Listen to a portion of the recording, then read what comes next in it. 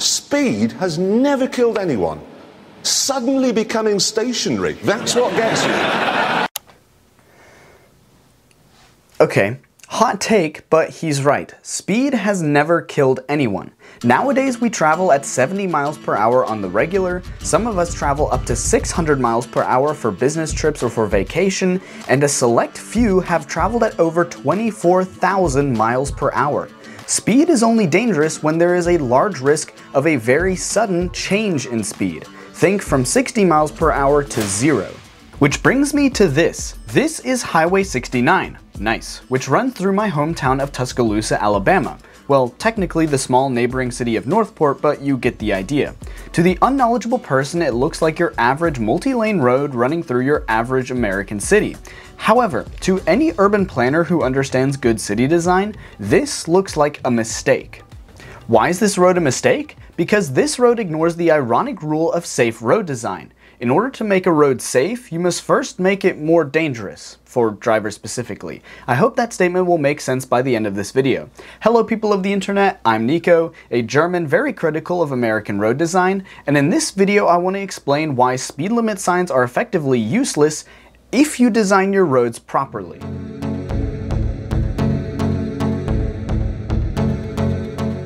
Driving is a weird activity. It's one of the very few regular activities we do that happens at a higher speed than humans have evolved to deal with. Over the thousands and thousands of years that mankind has existed, we only recently started moving at speeds higher than we are physically capable of. It's because of our evolution that weird things start to happen when processing visual information at these higher speeds. Watch this video. This is what you think you see, but your brain is actually taking huge shortcuts to process this information, so what you actually see looks more like this.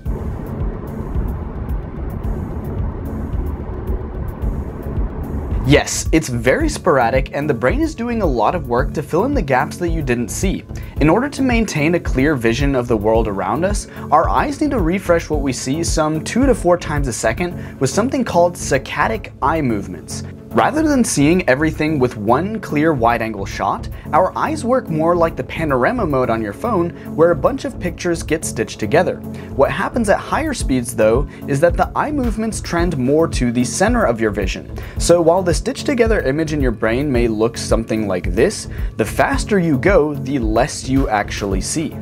This is obviously problematic for the safety of pedestrians, cyclists, or even motorcycle riders, not to mention the fact that braking distances greatly increase with higher speeds. So clearly, lower speeds are far safer for everyone, for those inside and especially for those outside of a car. And given the fact that America has over 7,000 pedestrian deaths per year, we need to go to a different country that is actually effective at slowing cars down to see how they do it. If you recognize this song, then you too are probably tired of seeing Max Verstappen winning all the time.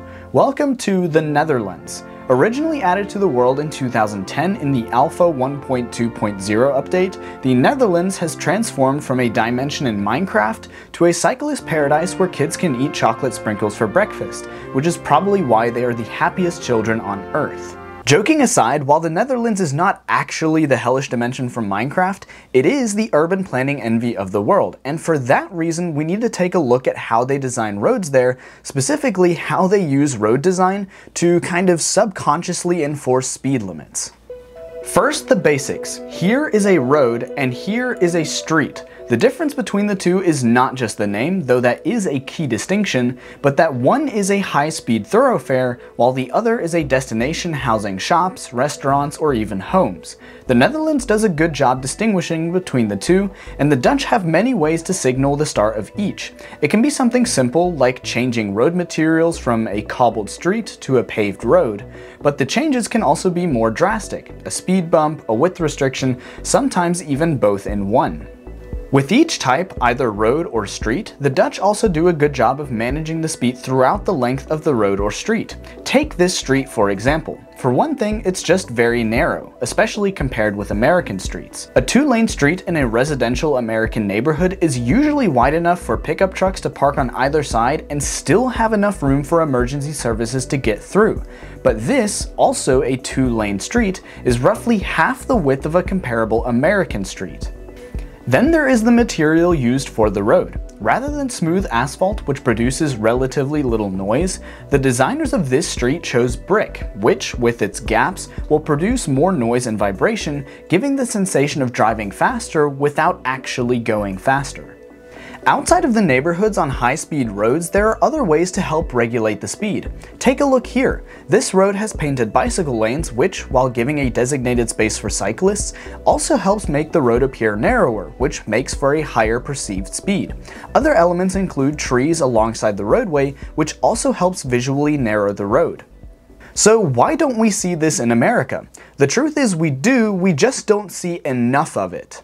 Take this street in Tuscaloosa as an example. This is actually a pretty good example of safe street design. The lane is relatively narrow and the side of the road is lined with trees that visually narrow the road. The trees also provide some much needed shade, which is obviously another benefit. But just a few blocks over, there is this monstrosity of a street road combo with a speed limit of 30 miles per hour, but with lanes wide enough to realistically accommodate up to 40 miles per hour.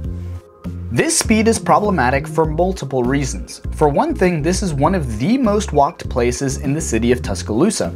There are a number of different restaurants and businesses, and on top of that, the parking spaces are arranged so that you have to reverse out into traffic, oftentimes blind to the cars coming down the road. It doesn't take a genius to figure out that a crash involving someone doing 40 miles per hour with someone reversing out into traffic would be catastrophic. With that difference in speed, the damage to both the vehicles and the occupants would be significant, and far worse if it were between a car and a pedestrian. As vehicle speed increases, so does the risk of fatality for any pedestrian hit. Data varies, but the point where speed makes a serious impact is between 30 and 40 kilometers per hour, about 19 to 25 miles per hour. That's why residential neighborhoods usually have speed limits of at most 25. But when roads are designed in such a way that going over the speed limit does not feel risky to the driver, then this poses a great risk to anybody outside of a car. Not only because of the impact speed and increased risk risk of fatality, but also because the driver may fail to spot the person altogether. For that reason, it is absolutely crucial that city streets have traffic calming measures to keep vehicle speeds down in the areas where pedestrians are common.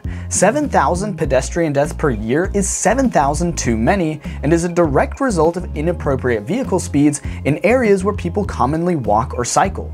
And while speed limit signs do have a small impact on average vehicle speeds and are better than doing nothing, in order to see a meaningful change in average vehicle speeds, the roads need to be designed in such a way that drivers feel unsafe driving at these higher speeds.